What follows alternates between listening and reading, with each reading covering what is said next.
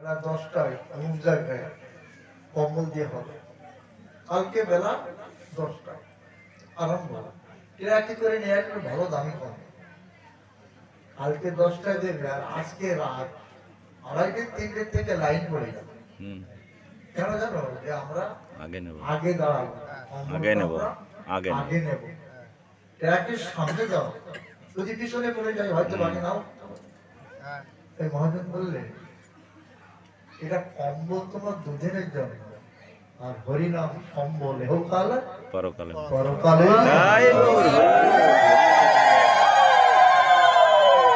আচ্ছা এই যে আমরা সংসারে জড়িত বিজড়িত হয়ে গেছি দৃষ্টান্ত দিচ্ছেন মহাজন আপনারা এখানে অধিকাংশ সেই ব্যবসায় করেন। পুকুরি বা দিঘিতে যদি মাছ ধরা হয় মিন বা মৎস্য ধরা হয় তো জাল টানা হয় না? জাল? হ্যাঁ। জানেন তো? কিন্তু দেখবে ওই জালে যখন টানা হয় জাল জালটা তখন যে সমস্ত মৎস্যগুলো জালে বাঁধে ওদের রেহাই নেই। ঝটপট করে লাফালাফি করে। ছাড়াছাড়ি নেই। কিন্তু বাঁধে না কোনটা? জালে জড়ায় না কোনটা? যে ধীবর বা জেলে যার ওই চরণের কাছে দাঁড়িয়ে থাকে। তারে কিন্তু জালে জড়ায় না। এমনি আমরা যে মায়ার জালে জড়িয়েছি আমরাও যদি আসতে চাই গৌর গোবিন্দের শ্রীপাদ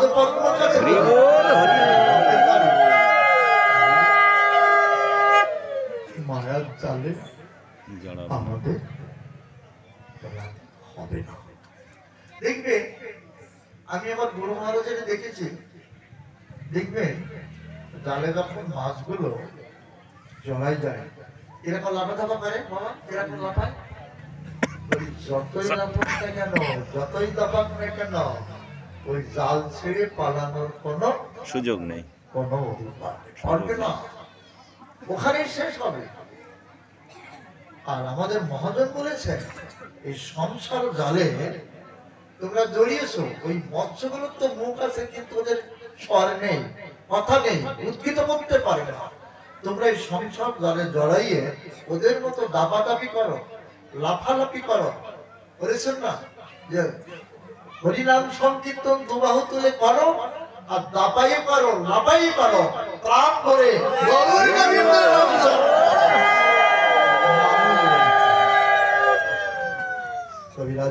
বলেছেন, নাম করবে দাপাই, নাম করবে লাফাইয়ে নাম করবে কাপাইয়ে আর সঙ্গে হরিনাম করবে। নিতাই বলবে গৌর বলবে। ভগবান বলেছেন না কবিরাজ গোস্বামী বলেছেন না কৃষ্ণ তোমার কলম বলে যদি বলে একবার। লাফালাফি কর। আমি আমার গুরু মাছকে দেখেছি ভাইনি কীভাবে লাফায় কীভাবে কাঁপায় ভুবন কাঁপায়। বলি কেন করবে লাফান কেন? লাফালাফি মাছের মতো না। ওরা যেমন লাফায় দাপায় কিন্তু মুখে কথা নেই। এই জগতের শ্রেষ্ঠ জীব মানুষ এরা লাফাবে দাপাবে মায়ার জাল ছিঁড়ে যাবে তখন বদনে যদি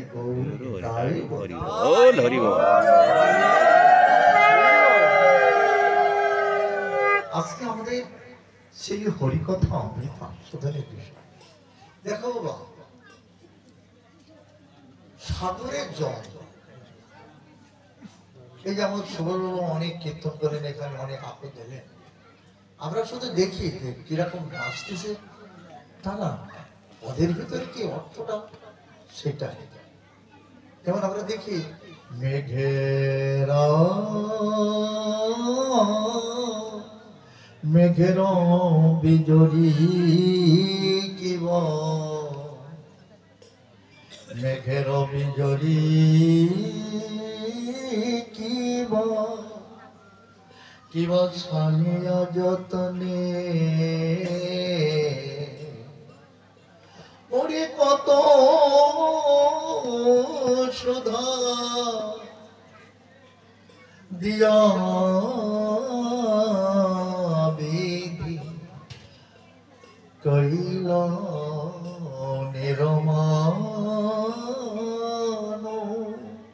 বিধি গড়িয়ে বুঝি দেখে।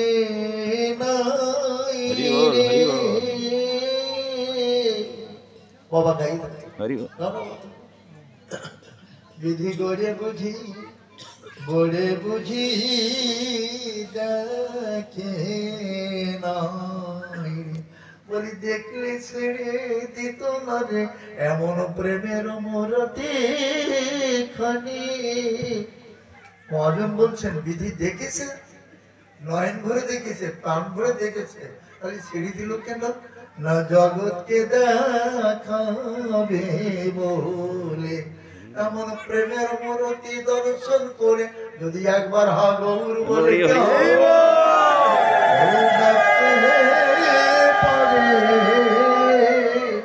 কারণ এই গৌর সন্তান আমাদের মায়ের বন্ধন থেকে মুক্ত করার জন্য আমাদের দুয়ারে দুয়ারে পরিণাম বিতরণ করছে। আমি একটু আগে যখন আসলাম, আমার বাবা কীর্তন করছিলেন। কত মধুর কীর্তন, কত আগ্রহ আর পদগুলো যদি আমরা শুনতাম, আমাদের হৃদয়টা আমরা সুভাষের দল সকলেই চাই। আসলো, নৃত্য করল, কীর্তন করল, কিন্তু পদের পদার্থগুলো আমরা একবার শুনলাম। এই যে কথাটা বলছিলাম? যে এই সন্ধান আমাদের। আচ্ছা বাবা সাগর দেখেছি আমরা? কেউ? সাগরের কীরকম ঢেউ কীরকম তরঙ্গ? আমি যখন পুরীতে নীল সাগর দর্শন করতে গেলাম নীলাদ্রিতে আমি চার পাঁচ লাখ স্কন্দ এই ঢেউ দেখে দশ হাত বারো হাত পর্যন্ত। আর উঁচু ঢেউ আর হলে তো আরও আরও বেশি। উঁচু। তারপরে একজন বললেন যে বাবা ভয় পালে এত দূর আসবে। এত দূর আসবে না। কিছুদিন নিয়ে যায় ওই ঢেউতে যদি কিছুদিন নিয়ে যায় সাগরের এমন একটা দয়া আছে যে ঢেউতে নিয়ে যাবে পরের ঢেউতে তোমাকে আবার রেখে যাবে এই জন্য এই যে সাগরের জলটা যদি একটা পাত্রে রাখা হয়, মানে একটা ঘটিতে কিংবা একটা বাটিতে একটা পাত্রে যদি রাখা হয় তাহলে ওই পাত্রের ভিতর তাকালে ওই ঢেউ দেখা যাবে? না। তরঙ্গ? ওই হিল কিচ্ছু দেখা যাবে না? কেন যাবে না? সাগরেরই জল তো। শান্ত গেছে। সাগরে ছিল সেই জলে কত তরঙ্গ ছিল কত ঢেউ ছিল একটার পর একটা ঢেউ আসছে আবার যাচ্ছে। সেই সাগরের জল যদি একটা পাত্রে রাখা হয় তাহলে তরঙ্গ ঢেউ কোথায় গেল? নেই কেন? নেই ওই সাগরের জলটা পাত্রে, আবদ্ধ সে তরঙ্গ আনন্দ হয়ে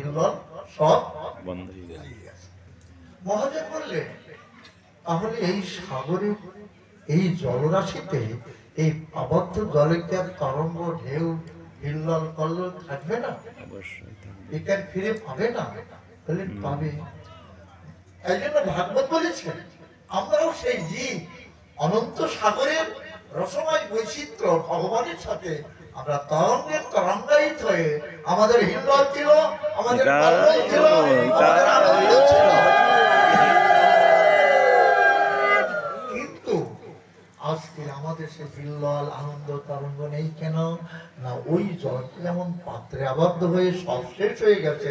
আমরাও তেমনি সংসারে আবদ্ধ হয়ে আমাদেরও সব এখন আমরা দুঃখে দুঃখে জর্জরিত। আচ্ছা তাহলে ওই সাগরের জল এই পাত্রে আবদ্ধ হয়ে ও তরঙ্গ ফুরিয়ে গেছে, আনন্দ ফুরিয়ে গেছে, ও কি আর কোনোদিন এই তরঙ্গ আর আনন্দ ফিরে পাবে না? বলে, পাবে না তা না পাবে। যদি কোনো সরজায় ব্যক্তি ওই পাত্রটা ধরে যদি সাগরে ফেলে দেয়, তাহলে দেখবে আবার তরঙ্গায়িত হয়ে আমার আনন্দ আবার হিল্লল আবার কল্লল করে তেমনি আমরা সেই পরম আনন্দ ধামে সচ্চিদানন্দ বিগ্রহের সাথে আমাদের যে আনন্দ তরঙ্গ কল্লোল ছিল, সংসারে আবদ্ধ হয়ে সব শেষ হয়ে গেছে। এখন দুঃখে দুঃখে দর্জনিত। তাহলে আমরা কি আর আনন্দ ফিরে পাবো না? মহাজন বললেন, পাবে না তা না। পাবে যদি কোনক্রমে সাধুগুরু বৈষ্ণব এসে এই সংসার ক্ষেত্রকে তোমাকে মুক্ত করে হরিনাম কীর্তন শ্রবণ করাই করাই মায়ের বন্ধন থেকে মুক্ত করে যদি পরমানন্দ।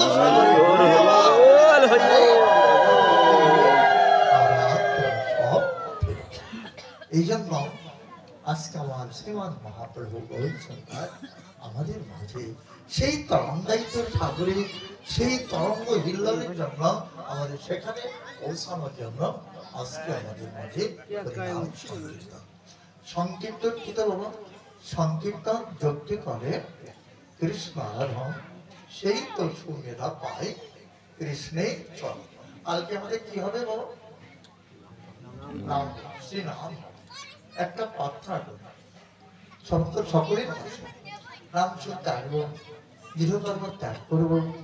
এবং আমরা সকলে এখানে বাবা, কথা বলে না। আমরা সকলে এখানে নাম স্মরণ করতে আসব এই লক্ষ্মীকান্তপুর গ্রামে তারা দশ হাজার, পনেরো হাজার, বিশ হাজার টাকা দিয়ে দল আনছে এবং এখানে নামের আয়োজন হয়েছে। আমরা আসব সংসদ ত্যাগ করে, নামও শুনব।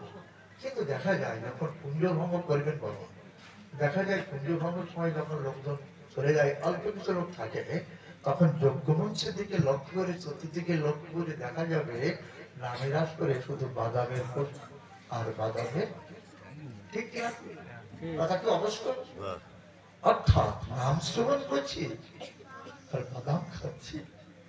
সেটা তো নাম শোনা হবে না। তাহলে এই মায়ের বন্ধন থেকে মুক্ত হয়ে আমার সে পরম আনন্দ ধরে যাওয়া যাবে না। মা মাতৃ সনারাধন আমি কি মত আপনাদের কাছে প্রার্থনা করছি বাদাম খাবেন যাওয়ার সময় খেতে খেতে যাবেন পকেটে করে নিয়ে যাবেন টুকরা করে নিয়ে যাবেন নামের আসরে বসে যদি বাদাম খান পাপড় খান আর গল্প করেন তাহলে আশা আর যাওয়া হয়ে গেল। তেমনি এই আশা যাওয়া যেমন ব্যর্থ হয়ে গেল আমাদের সংসারও তেমনি যদি হরিনাম শ্রবণ না করি হরিনাম কীর্তন না করি আমাদেরও আশা আর যাওয়া ব্যর্থ হয়ে গেল। এই জন্য কি মহিমা? বৃন্দাবনে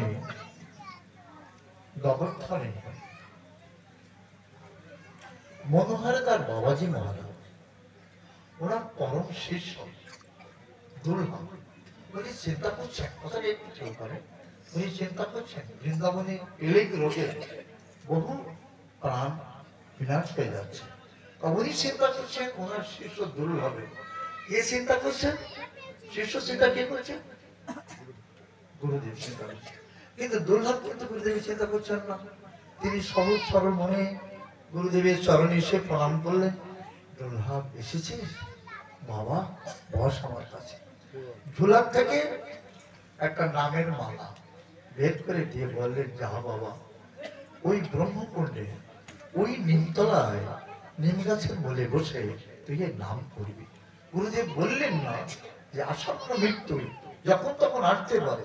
তবে তুই নামের মালাটা যেন ছাড়বি না। এই জগতে গুরু ছাড়া এমন দরদি বন্ধু আর কেউ হতেই পারে না। এখন দুর্লভ গুরুদেবের চরণে প্রণাম করে নামের বেলাটা নিলেন। হিত এবং অহিত ভালো না কিচ্ছু বললেন না। সেই ব্রহ্মকুণ্ডীর নিমতলায় বসে উনি নাম জপ করছেন। কিছুক্ষণ নাম জপ করার পরে তাকে চতুর্দিকে একটা ধোমার মতো ঘিরে বন বন বন বন বন বন শব্দ হচ্ছে। ঠিক গ্রন্থে এই কায়দায় লেখা। এটা ধোঁয়ার মতো চতুর্দিকে ঘুরছে আর বন বন বন বন শব্দ হচ্ছে। কিছুক্ষণ পরে দুর্গা বলছেন বন বন শব্দ করছ তুমি কে?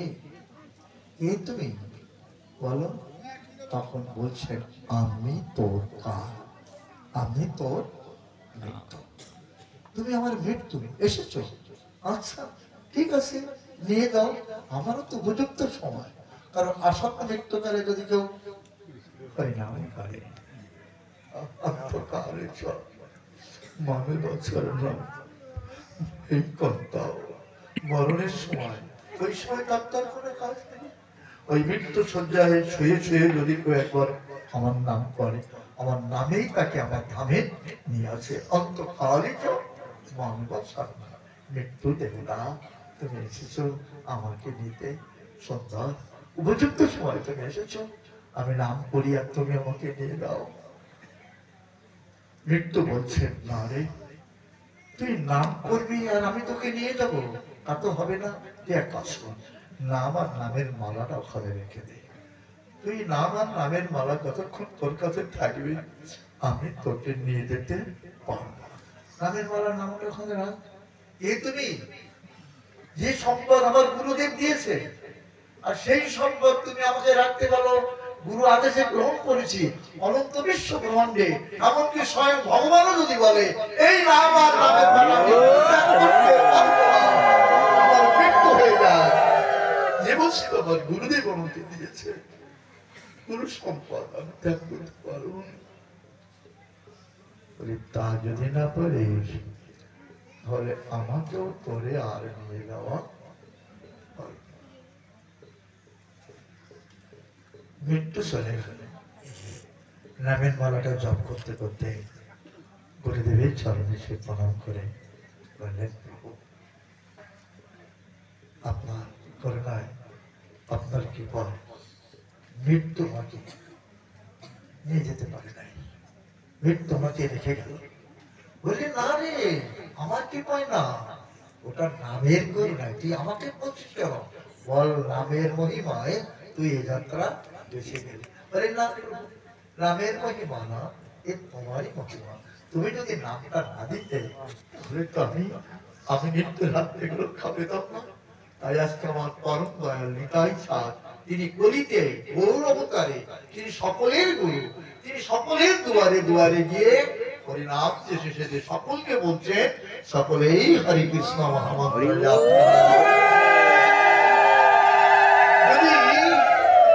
যদি তোমাদের নাম করতে করতে মৃত্যু হয়ে যায় তাহলে নামেই তোমাকে ভগবান ধামে নিয়ে যাবে।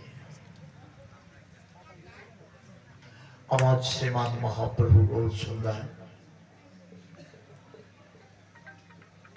বিষ্ণুপ্রিয়াকে বললেন, প্রিয়া, আমার একটি কথা তুমি শোনো। ও যদি ঘুম আসে, তাহলে একটু জীবের পরে দাঁত দিয়ে একটু চেপে ধরেন একে বলা হয় শ্রাবণ পরাশ আমার সবাই যখন কীর্তন করে, আমি আগে বলে কীর্তন করতাম। নলালে থেকে ভাইটি দেখেছি কেন শ্রেষ্ঠ চিত্ত নিয়ে আসলে ওই যে ময়রাপুর দোলাল দাসের বাড়িতে। তখন আমারও কীর্তন হতাম আমি কীর্তন শুনতে গেলে দোলাল দাস আমার একেবারে সামনে বসালেন আর ওনার কাছে পরিচয় করে দেবেন ইনি আমাদের এলাকার কীর্তন। ওনার আমার সাথে একটা আলিঙ্গন ভালোবাসা হয়ে গেল। কিন্তু একটু কীর্তন শুনতে শুনতে শুধু এরকম ঘুম হচ্ছে এত বড় কীর্তনের সময় আমি একজন কীর্তনের ঘুম করি কীরকম হয়? কীরকম লাগে কি মনে করবেন? কিন্তু আমার এক মহাজনের কথা শোনা ছিল। কীর্তন শুনতে পেলে দুটো ডোজ সেবন করা স্নেহ আমি যদি ঘুম আসে, দুই ডোজ সেবন করা সেরে এক ডোজে যথেষ্ট। তাহলে কি জানো?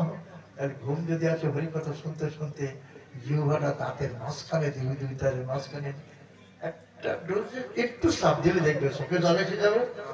আর ঘুম বলবে, তাহলে আমি আস্তে আস্তে এবার হরিকথা শ্রবণ হরিকথা। শ্রবণের জন্য আমরা এসেছি জনম ধন্য করার জন্য।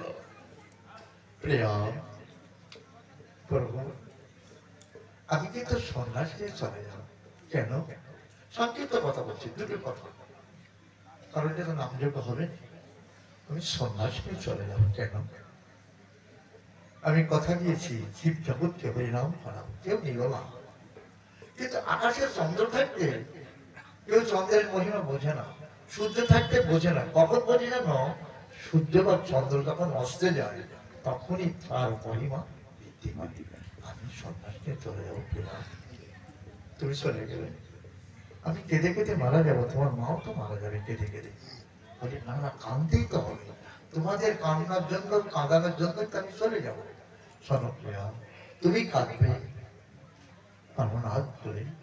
আর আমার মা কাঁদবে হানি মাই বলে। আর আমি কাঁদবো দেশে দেশে। হা গোবিন্দ বলে, আর আমার ভক্তরা কাঁদবে। হা গৌর আমাদের সকলের কান্না। এই জগতের লোক ভগবানের জন্য কাঁদে না, কেউ কাঁদতে জানে না। আপনি আসরে ধর্ম জীবকে শেখাতে হবে। দুঃখ করো। প্রভু আমার চলে গেলেন। রাতের অন্ধকারে। প্রিয়াজিকে ফাঁকি দিয়ে গেলেন। কিন্তু প্রিয়াজি মনে করলেন, প্রভু আজকে চলে যেতে পারে। কিন্তু কি করেছেন? তড়িত জড়িত ভাবে গৌর সুন্দরকে জড়িয়ে ধরেছেন, রাত্রি না যেতে আমার গৌর সুন্দর চিন্তা করছেন রিয়াজ একটু ঘুম পড়ুক কিন্তু ঘুম আসে না। তখন নিদ্রা দেবীকে বলছেন, নিদ্রা শোনো আমি তোমাকে বলছি, জগৎ জীবের কল্যাণের জন্য আমি সন্ন্যাস নিয়ে আমি চলে যাব। প্রিয়াজির চোখের তুমি একটু নিদ্রা দাও নিদ্রা বলছে না প্রভু। যে চির চৈতন্যর স্বামী, যে চির চৈতন্যের ধামিনী যে চির চৈতন্যের অর্ধঙ্গিনী যে চৈতন্য হারা বলে সে অচৈতন্য করবে, আমি এই কাজটা করতে পারব না। দেখো মিত্রা তুমি আমার কথা শোনো, জগৎ জীবের কল্যাণের জন্য আমাকে যেতে দাও। আমি কথা দিলাম, শেষের দিকে আমি তোমাকে ভবনদী পার করে দেবো।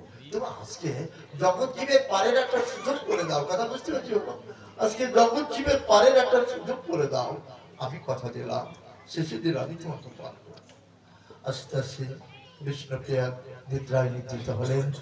সচিমা নিদ্রিত আছেন। মহাপুরুষ চলে গেলেন। সেই ঘাটটার নাম হচ্ছে কি বাবা? হৃদয়ের ঘাট যে যে গঙ্গার উনি পার হয়ে চলে গেলেন। নবদ্বীপবাসীরা এই যে গতবারও গেছিলাম নবদ্বীপবাসীরা সেই ঘাটটার নাম রেখেছে কি? হৃদয় ঘাট গঙ্গা। তোর মতো দয়াহীন ব্যক্তি হতে পারে না। তুই এই ঘাটে আমার বহু সুন্দর আমাদেরকে পার করে দিস। ঠিক ঘাট বলছে, গঙ্গা বলছে, দেখো।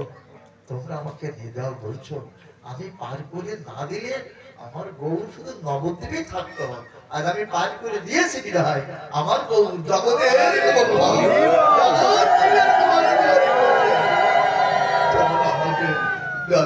কাছে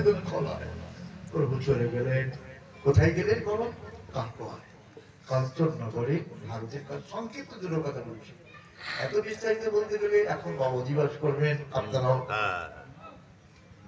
অসহনীয় হয়ে পড়বেন। কাটোয়ায় গেলেন, ভারতের কাছ থেকে সন্ন্যাস নিলেন। সন্ন্যাস নেওয়ার পরে মাথায়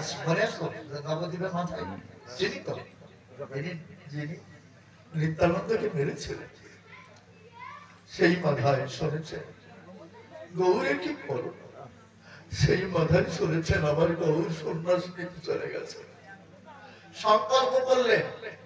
আমি সংকল্প করছি যদি আমার গৌর সন্ন্যাস নেয়, যদি আমার গৌরের আগের মূর্তি না পায়, তাহলে আমি ওইখানে গিয়ে কাটোয়া কাঞ্চনা করে গিয়ে হাগৌর হাগৌর বলে আর ওখানেই পাক্কা করবে এই দেহ নিয়ে আর নবদ্বীপ পেরে আর ওনাকে এই নিত্যানন্দকে মেরেছিলেন। সত্যি ওখানে হাঁপাতে হাঁপাতে হা গৌর গৌর বলে গেলেন যে, দেখেন আমার গৌর সুন্দর সন্ন্যাস নিয়েছেন সেই চাচর শিকড় কেশ নেই, ধবল কাঠের চোর নেই প্রভুরাজ বের দেখে আগৌর আগৌর বলে খামতে খামতে ওখানেই দেহত্যাগ করলেন।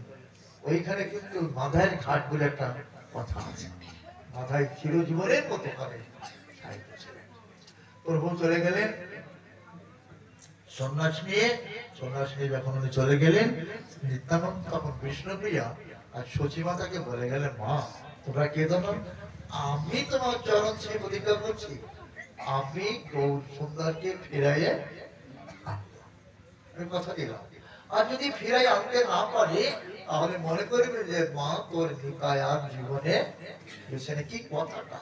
এবার নিকায় নিত্যানন্দ গেলেন যে জগদানন্দকে সঙ্গে নিয়ে গেলেন, আরও ভক্তবৃন্দ নিয়ে গেলেন কাটোয়ায় গিয়ে কিছু ভাতের কাছে শুনলেন, সন্ন্যাস নিয়ে চলে গেছে সহজ সরল কথা বলছে। মূল দৃষ্টান্ত যে তখন নিত্যানন্দ কোথায় চলে গেছে জানলে বলে, এই পথ চলে গেছে রাহাট দেশে তোমরা খুঁজতে ভুলে যাও।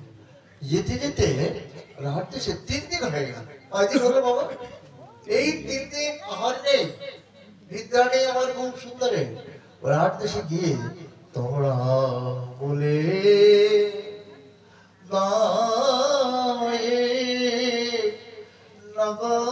নগরবাসী ওইনা বৃন্দাবন কত দূরে? বলে দাও না। নগরবাসী, ওই বৃন্দাবন কত দূরে? বৃন্দাবন শেখা যিনি অনন্ত বিশ্ব ব্রহ্মাণ্ডের পথ তিনি চিনাই দেন এবারটা বৃন্দাবন চিনছেন কেন চিনছেন না বলতো? না, পিছনে ভক্ত ছুটছে যাকে পাওয়ার জন্য একবার এদিকে যাচ্ছে একবার পাচ্ছে না তখন নিত্যানন্দ প্রভু শুধু এই আলোচনা, এইটুকু আমরা আলোচনা করব। নিত্যানন্দ প্রভু দেশে গিয়ে দেখি একদল রাখাল ছেলেরা গাভী বৎস চড়াচ্ছে। তখন বলছে, এই বাবা তোরা ওরা সন্ন্যাসীকে দেখেছিস এই পথে যেতে? তাহলে দেখেছিস, কাঞ্চার বলছে, বৃন্দাবন কোন পথে? বলে একবার এদিকে যাচ্ছে আর একবার এইদিকে আসছে। বলি, এরকম যাওয়া হচ্ছে, একবার এদিকে যাচ্ছে শোন, এইবার যদি এদিকে আসে, যদি বৃন্দাবনের পথ জানতে চায়, তো শান্তিপুরের এই দিকে দেখাই দিবি। কোন দিকে? শান্তিপুর দেখায় এদিকে দেখাই দিবি।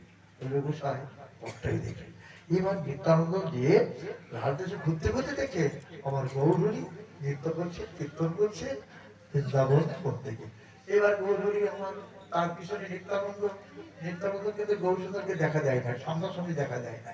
এবার মহাপ্রভু যখন এদিকে ফিরেছে তখন ওই বাচ্চাদের কাছে জিজ্ঞাসা করছে তোরা বলতে পারিস বৃন্দাবন কোন দিকে? নিত্যানন্দ শিক্ষা দিয়েছেন না? শিক্ষা মন্ত্র তো নিত্যানন্দই দিয়েছে। তো সাই তুমি বৃন্দাবনে যাবে যাবে তো, কোন দিকে বল? বলে দে তোরা, বলে দে বলছেন গোসাই, বৃন্দাবনে যাও। তাহলে এই দিকে যাও, সোজা যাও। তখন ওই পথটা রেখে দিলেন নিত্যানন্দ চিন্তা করলেন এবার আমার প্রাণটা জোগালো আমি সচি মাতাকে দেখাবো, আমার বিষ্ণু প্রিয় মাকে দেখাবো। গৌরী পথে যাচ্ছে। কোন পথে না, শান্তি করে পথে যাচ্ছে। এইবার যখন উনি চলছেন চলতে চলতে হঠাৎ করে পিছনে লক্ষ্য একটা শব্দ আছে কে? কি আছে পিছনে? তাকিয়ে দেখে শ্রীপাদ। কে? নিত্যানন্দ তুমি এসেছ? খুব ভালো হয়েছে। আমি তো বৃন্দাবনের পথ চিনি না। তাহলে তুমি আমাদের সঙ্গে করে নিয়ে চলো। তাহলে তুমি আগে যাও আমি পিছনে পিছনে যাই এবার নিত্যানন্দ আগে যাচ্ছে। আর পিছনে পিছনে কে যাচ্ছে? আমার কবুতর যাচ্ছেন যেতে যেতে যখন গঙ্গার কুলি এসেছেন ওপারে শান্তিপুর এপারে শান্তিপুর এপারে তখন বলছে, শ্রীপাদ, কথাটা একটু করে শোনেন। শ্রীপাদ, এইটা কি সেই যমুনা? বলেন হ্যাঁ প্রভু, এটাই সেই যমুনা। আচ্ছা এটা যদি যমুনা হয়, তাহলে এইটাই সেই বংশীবর বলি হ্যাঁ এইটাই বংশীবর প্রভু আগে বলছেন নিত্যানন্দ পরেই সেই কথায় করছে। এই কথাগুলো শুনবেন, মনে রাখবেন। এইবার আমার গৌর সুন্দর, ওই বৃন্দাবন মনে করে, যমুনা মনে করে, যমুনায় জল ফেলে বসছেন, সাঁতার দিচ্ছেন, তারপরে ডুব দিচ্ছেন, কত আনন্দ করছেন, যমুনা অনেকদিন পরে তোমার সাক্ষাৎ হলো হঠাৎ করে এদিকে জগন্নাথকে ওই পর্যায়ে শান্তি করে পাঠিয়ে দিয়ে বললেন, অদ্বৈতকে নৌকা নিয়ে আসতে বলব আর ডোর কপুর নিয়ে আসতে বলব, এই পার থেকে ওপারে আমার গৌর সুন্দরকে নিয়ে যাব এখন জল খেলে বলছে, জল সাঁতার দিতে দিতে হঠাৎ থেকে অদ্বৈত একখানা নৌকা নিয়ে আসছে। কি নিয়ে আসছেন একখানা তরণে আসছেন ওই তরণী নিয়েছে কেন? না, এই তরণী নেওয়ার জন্য ওই তরণী নিয়ে আসছেন হঠাৎ করে দেখে, লক্ষ্য করে দেখে অদ্বৈত প্রভু তখন বলছে আগের কথা মনে আছে তো? এই কি সেই যেমন না? এই বংশী মনে আছে তো কথাটা তখন প্রভু কহে অদ্বৈত তুমি এটা কেমন আইলা? বলি আমি বৃন্দাবনে আছি তুমি তুমি কেমনে জানিলা? নিত্যানন্দ তখন অদ্বৈত তারাই করলেন অদ্বৈত বললেন, নিত্যানন্দ সারাকা শিরোমণি তো মনে হয় এটা কি দিয়ে ওটা আল্লাহ বলেছে। তখন অদ্বৈত বললেন, প্রভু, শোনো প্রভু, তুমি সচিরানন্দন তুমি যাহা তা, সেই তো নিত্য বৃন্দাবন। তুমি যাহা, সেই তো নিত্য বৃন্দাবন। কি? নিশ্চয় তাহলে তো শ্রীপদ আমাকে পথ বলে নিয়েছে। আচ্ছা শ্রীপদ তুমি সাধু মানুষ তুমি সন্ন্যাসী, তুমি অবধূত তুমি আমার সঙ্গে মিথ্যা কথা বললে? আর তুমি এইটাই যমুনা বললে এটা বংশীবট করলে? না তো তা বলে বলো কি তুমি যে বললে? বলি, তুমি বলেছ আমি তাই সমর্থন করেছি প্রভু। তুমি যেটা বলো বৃন্দাবন আমি কি বলব এটা বৃন্দাবন না? তুমি যেটা বলো বংশীবট আমি কি বলব এটা বংশীবট না? অদ্বৈত বললেন এক নিবেদন প্রভু এক নিবেদন। কৃপা করে তোমার গৃহে একবার করহ ভ্রমণ কার গৃহে বলো? ঘরটা তো অদ্বৈত। কিন্তু প্রভু কি বলছে? একই নিবেদন প্রভু এক নিবেদন। কৃপা করে তোমার গিরে একবার করহ ভ্রমণ আমার প্রভু অদ্বৈত গৃহে গেলেন। অদ্বৈত গৃহে গিয়ে তখন আমার শান্তি শান্তি আনন্দ করলেন। আর রান্না বান্না হচ্ছেন এবার নিত্যানন্দ বলে শিবার নবদ্বীপে যাও। আমার মাকে সঙ্গে করে নবদ্বীপবাসীকে নিয়ে। তখন শিবার যাচ্ছেন মনে আনন্দ। কাকে আনবেন মাকে আনবেন আর কাকে আনবেন নবদ্বীপবাসীদের আর প্রিয়াজিকে আনবেন এইবার কিন্তু শিবাকা নিয়ে গেছেন, মাতাকে আনতে, শশীমাতাকে আনতে প্রিয়াজিকে আনতে, শিবিকা নিয়ে গেছেন, শিবিকা নিয়ে যখন ওখানে দাঁড় করাইছেন, তখন বলছেন, মা, তড়ি ঘড়ি করে গুছিয়ে নাও, নিমাই তোমাকে যেতে বলেছে। সর্ব অগ্রে বৌমাকে ঠিক বলছেন বৌমা। আজকে আমাদের শুভ উদয় সৌ- সৌভাগ্যের উদয় হয়েছে। তাড়াতাড়ি গুছিয়ে নাও। আমরা নিমাইকে দেখতে যাব। চলো। বৌমাই আগে কিন্তু যার যার অনুমতি নেই, তিনি কিন্তু পালন কাছে আচ্ছা বলো তো এবার কি করে? কি করতে হবে? আমার বহু সুন্দর বলেছেন সেবা যাচ্ছ কিন্তু প্রিয়াজি যেন না আসে। তখন নেপথ্যে তখন আমার নিত্যান্ত বলছেন, প্রিয়াজির যাওয়ার অনুমতি নেই। তখন প্রিয়াজি আনতে লাগলেন। তখন কি করলেন? চোখের জল। শিবিকার করে বললেন যাও, এই চোখের জল যাও এই গৌরী আমি তো যেতে পারলাম না। আমি দুপুরা নয়নের জল দিয়ে দিলাম। এই নয়নের জলই তোমার চরণে দিয়ে তুমি আমার মনোবাসনা করে দিও। গেলেন। ওখানে একাদশ দিন উনি ছিলেন। মা, তুমি যাতে রান্না করবে, আমি ভোজন করব। আমি প্রসাদ পাবো, তুমি নিজে হাতে রান্না করবে তোমার মতো করে। যদি সজ্জন, সেই রমজান হবে, আগামীকাল মা সচিমাতা রান্না করবেন, এখানে যজ্ঞ মহোৎসব আয়োজন হবে। একদিনও বহু আছি অবদিত মন্দিরে বসি খায় কিছু সচিরও কমা শ্রী সজ্জন, কালকে সেই আমাদের প্রভু শুভ আগমনে নাম যজ্ঞের আয়োজন হবে। আজকে তার দিবস আপনারা সকলেই নাম শ্রবণ করবেন। কি করে শ্রবণ করবেন না এরকম কাজে শ্রবণ করতে হবে। মন বসা থাকবে, চোখে জল আসবে, কান দুটো পেতে দিবে। মহারাজ পরীক্ষের সলাপ সাপের কামড়ে তোমার মৃত্যু হলেও তোমার কোনো ভয় নাই। নাম যদি তোমার কানে থাকে, নাম যদি তোমার হৃদয়ে থাকে, আর নাম যদি তোমার জিউ ভাই থাকে, সাপ এসে কখন কামড় দেবে, তুমি তা কিছুই বুঝতে পারবে না। এই জন্য নাম কানে রাখবে মা। নাম ভরে নাম শ্রবণ করবে। আমরা অনেক সময় অনেক কথাই বলি যে, না বাসিওয়ালা খুব ভালো বাসি বাজাইছে। বাসিওয়ালার বাসিতে টাকা ঝুলাই দিয়া ফুল খুব ভালো বাজাইছে। কিন্তু নাম যে ভালো করেছে, এই কথাটা মনে রাখবেন। সত্যি সুন্দর নাম শুনলাম। বাদাম ভাজার দলে, বাবা, এক মিনিটের কথা বলব এক ব্যক্তি সংকল্প করেছেন? আমি রথের বাজারে পাঠ শুনেছেন এরকম। পাঠ শুনেছেন, পাঠক ঠাকুর পাঠ করছেন। কয়েকদিন পরে রথের বাজার, কয়েকদিন পরে রথযাত্রায় জগন্নাথ মাসিমার বাড়ি গেল পাঠক ঠাকুর পাঠ করেছেন, বলছেন, রথযাত্রায় রথের পরে যদি কেউ জগন্নাথকে দর্শন করে, তারা কোনো জন্ম হয় না। তারা এই সংসারে ফিরে আসতে পায় না। তখন ওই ওই চিন্তা করে ঠিক সময় মতো রওনা হয়েছে। কেননা আর এই সংসারে আসব না যন্ত্রণা ভোগ করতে আমি রথের পরে জগন্নাথকে দর্শন করব। কিন্তু রথযাত্রায় যাচ্ছে, রথের কাছে পৌঁছে গেছেন বাজারে, মন্দিরের প্রায় কাছাকাছি পৌঁছাইছে এখন ঢুকতেই দুই পাড়িতে বিভিন্ন দোকান। আছে দোকান আছে আমার মনে হয় লক্ষ্মীকান্ত বলেছে দোকান। যে গ্রামের নাম লক্ষ্মীকান্ত লক্ষ্মীকান্ত মানে কি? লক্ষ্মীর পারনাথ যেখানে থাকে লক্ষ্মীকান্ত সাক্ষাৎ নারায়ণের বাসভূমি যেখানে। সেইখানটা লক্ষ্মীকান্ত এখানে মনে হয় কোন প্রসারী মায়ের দোকান বসে নাই। এখনও সংকল্প করে কি আমি রথের পরে জগন্নাথকে দর্শন করব যেন আমার আর কোনো যাত্রার মরণ আর যেন না হয়। এখন এই যাচ্ছেন কিন্তু দুই পাশে বিভিন্ন রকম মনোহারি দোকান। মনোহারি মানে কি যে দ্রব্য দর্শন করলে মনটা স্মরণ করে। কিন্তু যে মনটা জগন্নাথকে দিয়েছেন, যে মনটা জগন্নাথকে দর্শন করে রথের পরে এই মনোহারি দর্শন করতে করতে বেলুন, খেলনা, দোলনা, এটা, সেটা দর্শন করে মনে করছে এটা নাতির জন্য নেওয়া, তখন কিন্তু হয়ে গেল। এবার নাতির কথা মনে পড়ছে, এবার প্রধান কথা মনে পড়ছে, এবার বাড়ি যাব এটা করব, সেটা করব, করতে করতে করতে করতে, দর্শন করতে করতে, দেখতে দেখতে, তারপরে উনি জগন্নাথ রথযাত্রার সামনে যেয়ে দেখে রথ নেই মাসির বাড়ি চলে গেছে, রথযাত্রায় গেলাম। কিন্তু রথের পরে জগন্নাথকে আর দেখা হলো না। কেন হলো না? মনোহারি কথা। এই জন্য নাম শুনতে আসবে, কিন্তু মনোহারির দিকে লক্ষ্য করবেন না। যাওয়ার সময় চিন্তা করবেন কি করবেন, না করবেন।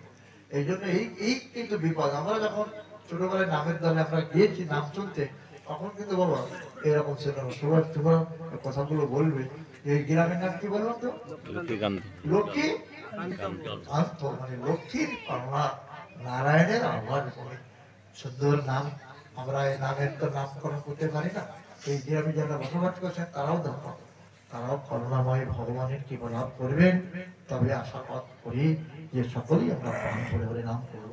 আচ্ছা আচ্ছা রতন তুমি দেখবে তো নামের নাম যখন গুঞ্জে ভালো হবে তখন এখানে বাধা মাংসটা পাওয়া যায় কিনা?